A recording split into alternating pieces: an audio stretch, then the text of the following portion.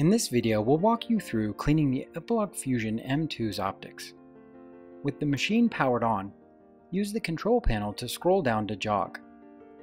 Then, use the joystick to move the X-axis assembly toward the middle of the machine to provide you easier access to the lens assembly and mirrors. Shut off the laser and remove the power cord from the machine.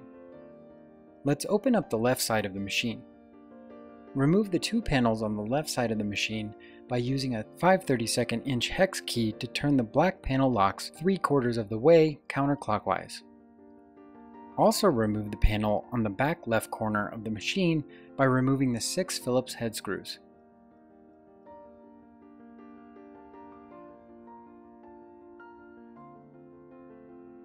Near the back of the machine is the periscope housing that directs the laser beam from the laser tube to the top of the machine. This contains a mirror at the bottom and at the top, as well as a window across from the top mirror where the beam exits the housing. The beam then travels towards the end of the x-axis assembly where a third mirror directs it down the x-axis of the machine. Finally, a fourth mirror directs the beam down toward the work area through a main lens which focuses the beam for cutting and engraving. The mirrors in the periscope housing are enclosed and will likely require cleaning less often than the other components of the optic system. The other components are exposed to dust, smoke, and other debris and should be cleaned regularly as part of your routine maintenance. Let's begin with the lens assembly. Remove the lens assembly by loosening the three thumb screws on its front face until they spin freely.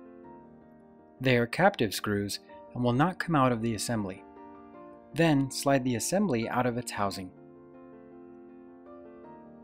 Apply lens cleaner to a cotton swab and use it to gently clean and dry both sides of the lens. Before returning the lens assembly to its housing, let's clean the mirror. Loosen the black screw on the top of the lens assembly housing. Slide out the mirror and gently clean and dry it with a cotton swab.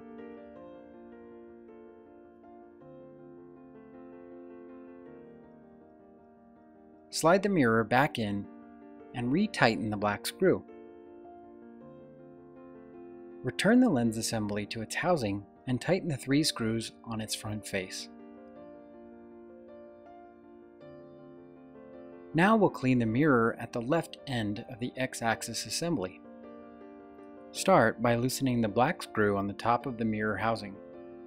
Slide out the mirror and gently clean it and dry it with a cotton swab.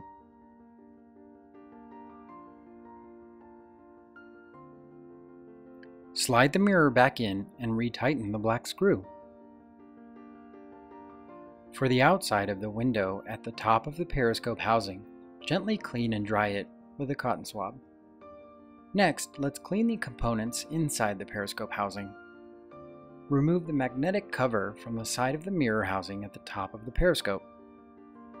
Loosen the black screw on the top of the mirror housing. Then slide out the mirror and gently clean and dry it with a cotton swab.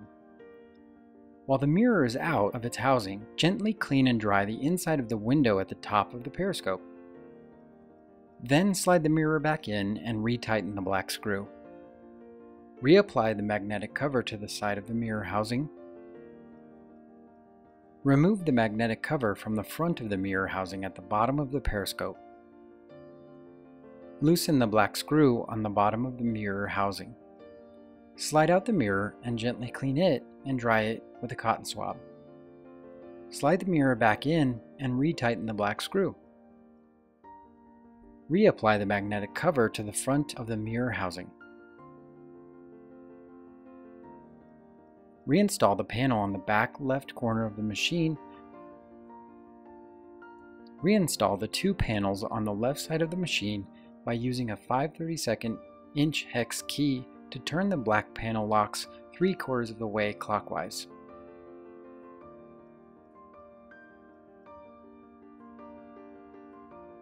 Then plug the machine in and turn it on.